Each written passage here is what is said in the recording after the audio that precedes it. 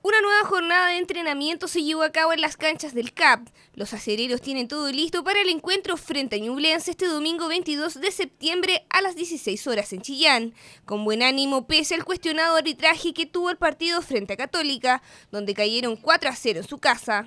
Bien, el equipo está bien, recuperándose de este, de este tremendo impacto que fue hacer un partido bien hecho, correcto y que un árbitro lo determinara en contra nuestro especialmente contra un grande del fútbol chileno. Queda más que estar muy íntegros, muy completos, ir con, eh, todas las ilusiones eh, plenas a Chillán y hacer todo lo posible para ganar los tres puntos allá. Hace dos encuentros, Ñublense no sabe de victorias y tiene la presión de ganar, ya que se encuentra en la última posición de la tabla con tres puntos, tensión que también viven los de la usina, que suman seis unidades durante el campeonato.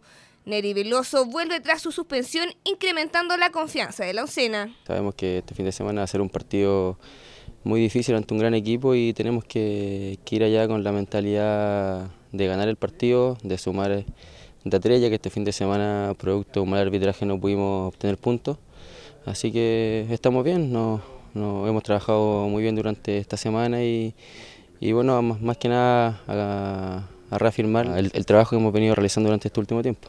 Aseguran que pese a los resultados, el trabajo ha sido bueno en lo que corre el campeonato. La mayor dificultad está en las expectativas de los hinchas, que no olvidan que el equipo hace muy poco fue campeón. bien, bien, estamos muy bien. Nosotros analizamos los primeros 60 minutos del partido y creo que le jugamos de igual a igual a un equipo que, viene muy bien, un equipo que, que demostró tener muchas condiciones en los tres campeonatos que está jugando.